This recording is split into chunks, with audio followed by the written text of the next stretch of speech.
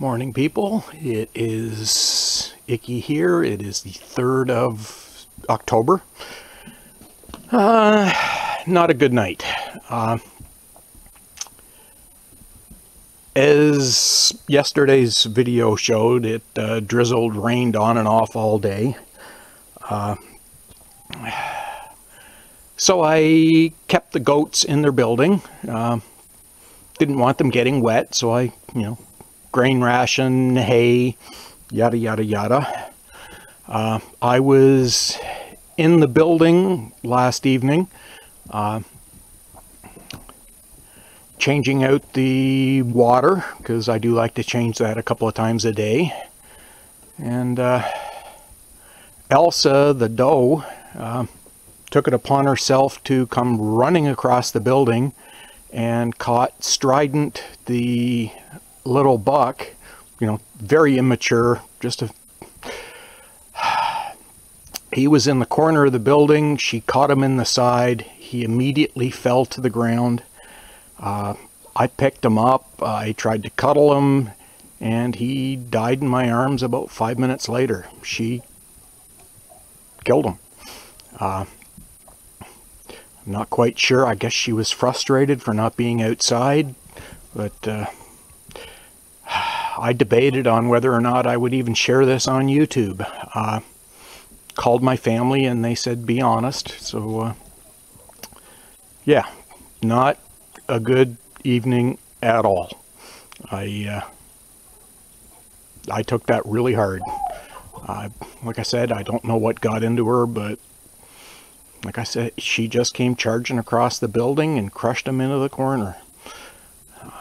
Anyways, I'm going to get at it and I'll bring you back later today. Well, there she is, looking quite content with herself. Um,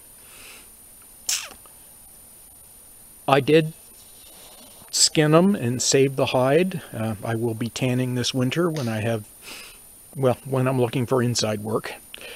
Uh, when I opened them up, there was no doubt about what had happened.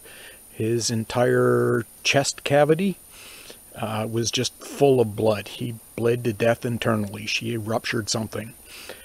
Uh, really didn't see this happening. I know she pushed him around, but I thought that was just her pushing him around. But this was a good, solid hit. Uh, if she wasn't pregnant, she'd be barbecuing right now.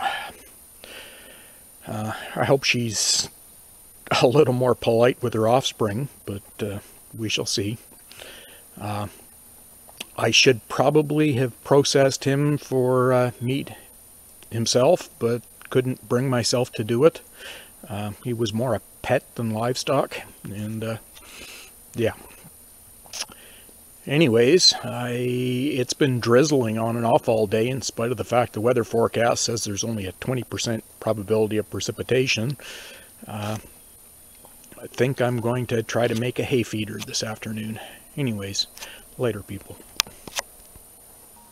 Okay, lunch, although it's like 1.30. Uh, Swiss chard, fresh cucumber, hot pepper, and tomatoes. And, uh, yeah, hamburger on a rock. Anyways, I'm going to enjoy, and I'll bring you back later, people. And here we have a hay feeder made out of scrap, so it gets nailed to the wall of the uh, goat grotto and uh, stuffed with hay, and theoretically it should uh, cut down a lot on the wastage. Anyways, I'm going to go install and uh, see what it looks like later. And there it is, temporarily installed. Of course, I'll have to take it off when I insulate the wall and vapor barrier and double sheet it. And yeah, but in the meantime, I should be able to put some hay in there and uh, not have her waste it like she does here. Anyways, can't believe I'm doing this for her after what she did to me last night. Anyways, later, folks. Well, it's about that time again. Uh, what can I say? I've had better days. Anyways, it's the journey, not the destination, and uh, nobody ever promised me a delightful journey every day. So uh, Talk to you tomorrow, people.